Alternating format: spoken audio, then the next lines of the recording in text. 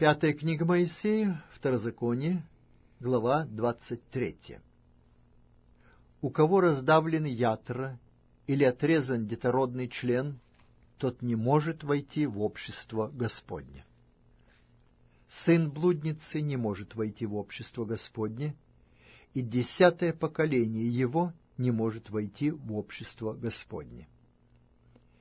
Аммонитянин и моавитянин не может войти в общество Господне, и десятое поколение их не может войти в общество Господне вовеки, потому что они не встретили вас с хлебом и водой на пути, когда вы шли из Египта, и потому что они наняли против тебя Валаама, сына Виорова, из Пифора Месопотамского, чтобы проклясть тебя.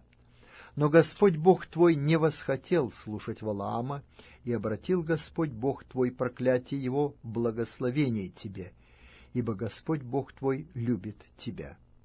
Не желай им мира и благополучия во все дни твои вовеки. Не гнушайся и ибо он брат твой.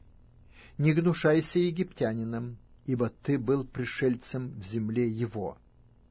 Дети, которые у них родятся в третьем поколении, могут войти в общество Господне.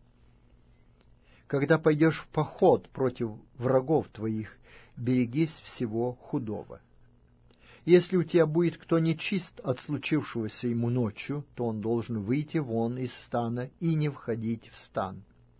А при наступлении вечера должен омыть тело своей водою, и по захождении солнца может войти в стан.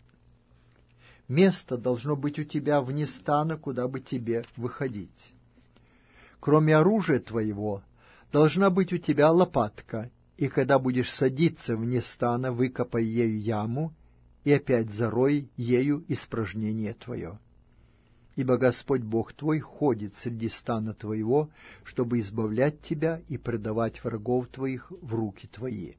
А посему стан твой должен быть свят, чтобы он не увидел у тебя чего срамного и не отступил от тебя. Не выдавай раба господину его, когда он прибежит к тебе от господина своего. Пусть он у тебя живет среди вас на месте, которое он изберет в каком-нибудь из жилищ твоих, где ему понравится. Не притесняй его. Не должно быть блудницы из дочерей Израилевых, и не должно быть блудника из сынов Израилевых не вноси платы блудницы и цены пса в дом Господа Бога твоего ни по какому обету, ибо то и другое есть мерзость пред Господом Богом твоим. Не отдавай в рост брату твоему ни серебра, ни хлеба, ничего-либо другого, что можно отдавать в рост. Иноземцу отдавай в рост, а брату твоему не отдавай в рост, чтобы Господь Бог твой благословил тебя во всем, что делается руками твоими на земле, в которую ты идешь, чтобы овладеть ею. Если дашь обед Господу Богу твоему, немедленно исполни его, ибо Господь Бог твой взыщет его с тебя, и на тебе будет грех.